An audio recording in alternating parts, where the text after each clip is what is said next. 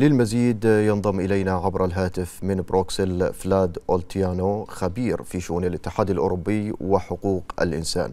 مرحبا بك معنا في نشرة الأخبار وكيف تنظر إلى هذا العفو الملكي السامي عن 457 محكوما؟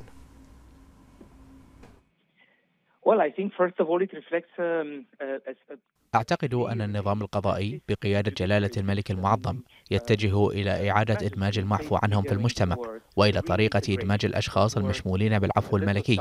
وبرأيي أن العفو الملكي هو علامة جيدة جدا على أنه قد حدث وأن الاندماج الإيجابي في المجتمع يحدث الآن وهو بالطبع مبادرة جميلة جدا من جلالة الملك المعظم.